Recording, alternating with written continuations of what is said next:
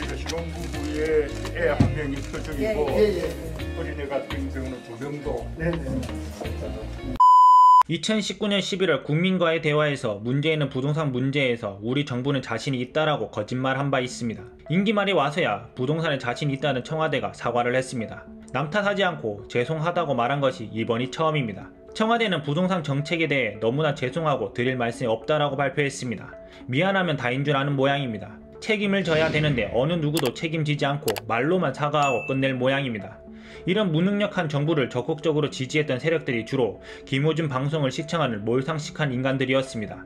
현재 연령별로 문재인 지지율 조사를 해보면 40대가 가장 지지율이 높은 것으로 나오며 뒤통수를 세게 맞은 세대도 40대입니다. 40대가 가장 김호준 애청자들이 많을 것으로 추측됩니다. 최근 2021년 5월 7일 기사에서 문재인 김호준 믿다 집 한 채 없이 쫓겨 다니는 40대 가족에 대한 기사를 보았습니다. 40대 주부는 청와대 국민청원 게시판에 글을 올렸는데 글 내용은 이렇습니다. 40대 전세살이들은 이 나라의 국민도 아닌 애만 낳고 사교육비로 집 한 채 없이 쫓겨다닙니다라는 제목의 청원글이 지난 6일 등록됐습니다.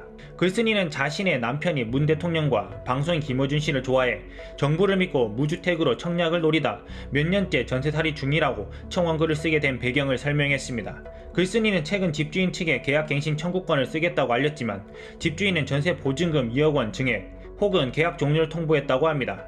집주인이 직접 들어와 살겠다고 했답니다. 글쓴이는 집주인 본인이 실거주 한다고 거짓말하고 새로 세입자를 들이면 전세금을 1억 원 더 올려 3억 원을 벌 수 있다고 한다라며 계약갱신 청구권 거절했다는 손해배상 비용 1,500만 원은 돈도 아니라 새로운 세입자를 들이는 게 이익이라고 하더라라고 호소했습니다. 이게 무식한 40대 대깨문 대깨김의 말로입니다. 어쩜 무식하고 생각이 없는지 과거 노무현 정부 때를 기억 못하고 까먹었나 봅니다. 이래서 진영 논리에 미치면 사람 구실 못합니다.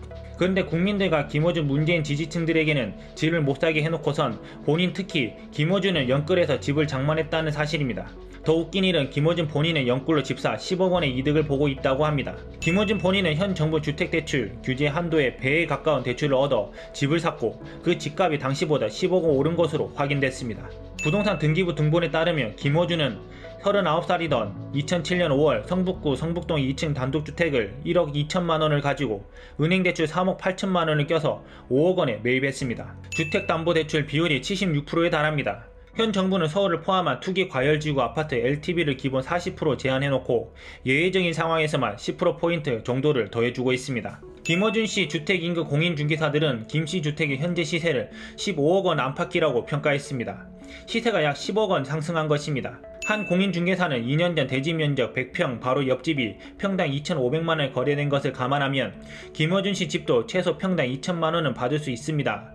현 시세 15억 원쯤 본다고 했습니다. 경력 13년의 다른 공인중개사도 김어준 씨 집 골목은 진입로가 있고 경사가 있어 주변 시세보다는 가격이 좀 떨어지지만 평당 2천만원 안팎으로는 받을 수 있다고 설명했습니다. 투기꾼 김어준 자신이 진행한 TBS 김어준의 뉴스공장 라디오에서는 국토교통부 차관과 하락론을 주장하는 일부 전문가를 수시로 불러 그들의 주장을 내보냈습니다. 정부를 옹호하는 직접 발언도 많았습니다. 비난을 샀던 정부의 호텔 임대주택에 대해서도 2030 세대에 최적화됐다며 그 나이에 입주 조건만 된다면 당장 입주하겠다고 막말도 했습니다. 저로서는 20대에 배낭여행을 시작해서 30년 가까이 매년 여행을 해봤다며 몇백 년 된 대학 기숙사부터 시작해서 감옥을 개조한 시설도 가본 적이 있고 바위를 파서 만든 집, 통나무 집이나 동굴집, 기차 짐칸에서도 많이 잡았다고도 했습니다. 그러면서 비판론을 다 웃기는 소리라고 했습니다. 그러면 바위 파서 만든 집에 김어준 당신이 들어가서 사세요.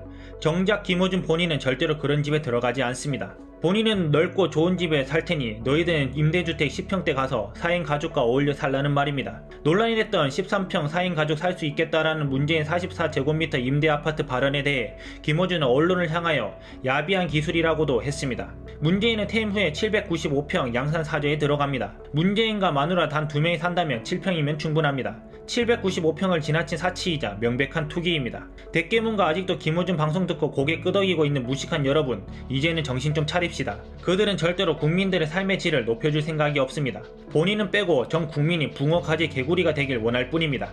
이상입니다.